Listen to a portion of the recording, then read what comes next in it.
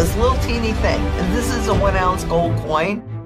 Central banks globally, they've been massively accumulating gold. You know, gold is completely out of the system. It doesn't need anybody to say that it's money. And according to the Bank for International Settlements, gold held at home runs no political risk. It is the only financial asset that runs no counterparty risk. In other words, this is not your debt that I have to count on you to pay, right? It runs no counterparty risk. It's a proven inflation hedge over time. And, you know, gold is critical for you to have completely outside of the system because look at this little teeny thing. And this is a one ounce gold coin. And it's an easy way to carry a lot of wealth in a small little package that truly is outside of the system that I hold and I own outright. It's critical. Gold is the primary currency metal, and it's the metal against which they revalue currencies when they do re- an overnight reset. Silver is the secondary monetary metal. While both of them are used in manufacturing, silver has a lot more manufacturing use. Gold does not get used up in production. In industry, it's all recoverable. So we can account for about 98% of it. All the gold that's ever been mined in thousands of years, silver gets used up. So you will see silver move toward its fundamental value along with gold. But um, it's not going to be Wall Street that's telling you what its true value is. It's going to be the central banks when they do those overnight revaluations. And I would like to say that even when we go into the digital currency, the digital dollar, people will think, oh, well, then that's going to fix the system. But no, because they're not going to change their behavior. What absolutely 100% has to, has to, has to happen is that all of the debt that we've accumulated, the trillions and trillions and trillions of debt that has been globally accumulated needs to be burned off. And that's what the hyperinflation is really about is burning off all of that debt. And then it becomes obvious to everybody that the dollars, euros, yen, whatever it is, that they have absolutely zero value. I know this is going to sound crazy, but you know, a lot of things that are coming to pass now that I said in the past sounded crazy back then. Oh, you can't say that. My job is to tell you so that you can make educated choices. So, what will happen is we'll go into hyperinflation mode, and then people will lose complete confidence in the currency, in the system, and they'll stop using it and they'll go to a barter system. So you'll get real local for a while. That's where silver really comes into play. And you'll go real local.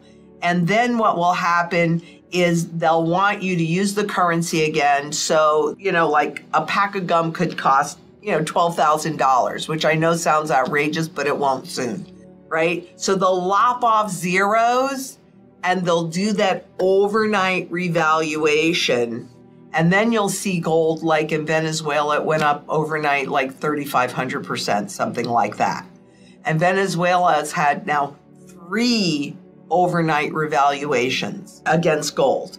So they do that to gain the public confidence again, but they won't change behavior yet.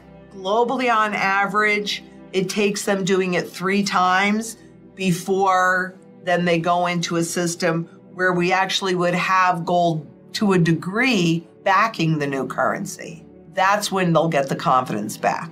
But the cur- the next currency won't be good until there's a component of gold to stabilize it because what gold does is it requires the government to have fiscal responsibility. You know, they have to live within their means or at least on a relative basis right now, there's no restrictions. I mean, as we've seen, as we've witnessed, no restrictions on how much new money can be printed. But every time that happens, the value of what's already out there is lost, or it loses more, I should say. But we're all experiencing a huge amount of inflation right now, although it's going to get worse. I, there's not one doubt in my mind, I can't guarantee this, but you know, I'm pretty darn sure that we are at the beginning of a hyperinflationary event. And the only difference between inflation and hyperinflation is the speed of that inflation. The problem is that there's virtually no purchasing power left in the US dollar. If you go on the Federal Reserve's website, the FRED, F R E D, and in the search bar, you put in purchasing power of the consumer dollar, what you'll see is that there's officially three cents left out of the original dollar's worth of purchasing power, which means it's worse than that.